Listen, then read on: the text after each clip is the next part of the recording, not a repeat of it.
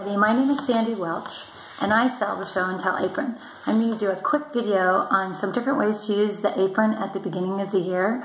Uh, I'm going to start off with two hints though that I think will help you out with the apron. Uh, the first one is I would tell you to run out and get one of the jewelry organizers, they're hanging jewelry organizers. Uh, the cards for the apron fit perfectly into these pockets. It's double-sided, so I might do language arts cards on this side and math on the other. I used to keep my cards in a box. This is so much easier, so go out and get one of those. The next tip I want to give you is to keep your cards as tall as possible. The apron comes with a binding across the plastic pockets, and if your cards are too short, they'll get caught on that binding. And trust me, if you're fiddling with a stuck card, you're going to lose those kids. So make sure you keep your cards as tall as possible. All right, here are a few ideas to use with the apron at the beginning of kindergarten. The first one I'm going to show you is tracking. So I have in the pockets right now um, cards uh, for back to school. And so as the kids come through the door, they would read from left to right uh, the picture cards uh, to start learning how to track correctly. So that's one fun way. The next one is we sing a hello song as they come through the door at the beginning of the year. And so I have to lean way back here so that you get all the letters. Um, be very careful uh, to check your cards every once in a while. I don't know how it happened, but I did walk around school one day without that O in there. So be really careful about what you've got in pockets. All right, bear with me. I'm going to sing. Oh, it's time to say hello to all my friends. Oh, it's time to say hello to all my friends.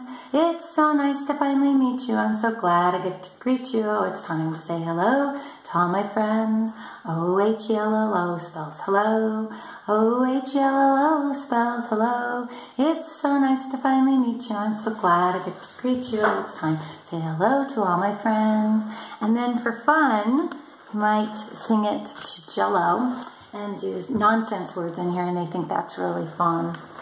The next way is my favorite way to use aprons. Um, if we're learning the sight word like, I put the letters in and then we learn Heidi's songs, which I just love.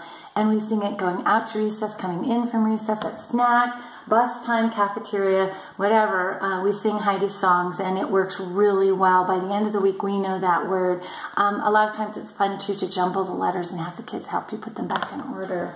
We're learning, of course, how to form our numbers correctly. And so I've got the number poem that we're learning. And as the kids come through the door, I might point to a number. They have to tell me what the number is, and we say the poem together.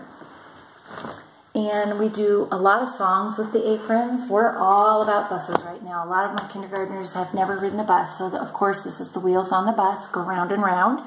And I layer my cards so that we can have other verses uh, to make the song a little longer. So that's a lot of fun. There's another song uh, because we're working up to five right now on our number formation. This is Five Little Ducks Went Out One Day. Of course, over the hill. So here it goes over the hill and far away. Mother duck says quack, quack, quack, quack. But only two little duckies came back. So that's another fun song to do. And of course, if you're in first grade, we're certainly not doing this in kindergarten yet. Um, you might have your word family in your pocket, and as they come through the door, you change the initial card and they read a new word. So there are some quick and easy ways to use the apron at the beginning of the year.